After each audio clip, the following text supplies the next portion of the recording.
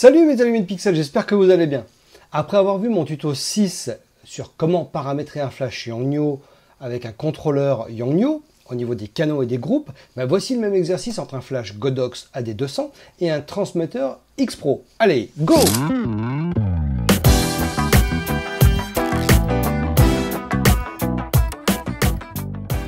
Alors, comme tous les flashs Yongnuo, vous allez pouvoir rapidement trouver les boutons vous permettant de faire ces réglages, car ils ne changent pas de dénomination.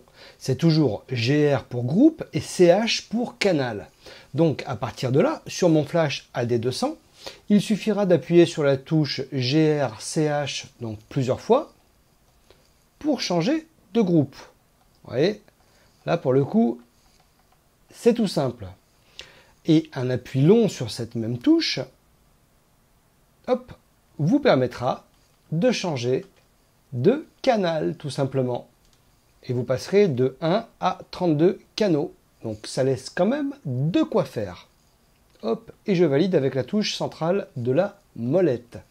Sur le contrôleur X Pro, vous allez trouver une touche qui correspond donc au groupe, donc qui se trouve alors, je voulais chercher, c'est pas compliqué, elle se trouve ici, vous voyez, sous GR. Donc, en appuyant tout simplement sur cette touche, vous allez pouvoir, une fois que vous avez appuyé dessus, ça sélectionne le groupe, changer de groupe en tournant la petite molette et sélectionner ensuite le, le numéro ou la lettre en appuyant sur le bouton. Donc, c'est tout simple, vous appuyez sur le bouton groupe et vous tournez la molette. Sinon, vous pouvez aussi sélectionner les groupes en appuyant sur ces boutons-là. Groupe A, groupe B, C, D, E, voilà, etc. C'est assez pratique. Vous avez deux solutions pour sélectionner le groupe. Le bouton ici ou le bouton, les boutons sur le côté pour un réglage rapide. Et vous pourrez régler donc le canal d'émission en appuyant sur la touche Zoom. Donc là, je rallume.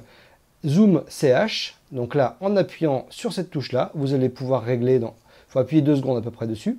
Vous allez pouvoir régler les canaux, donc même système, hein, comme sur le flash AD200, de 1 à 32 canaux. Donc c'est juste nickel et ça laisse quand même pas mal de choix. Allez, maintenant ça fait trop longtemps que vous êtes devant votre écran, vous retournez faire des photos. Ciao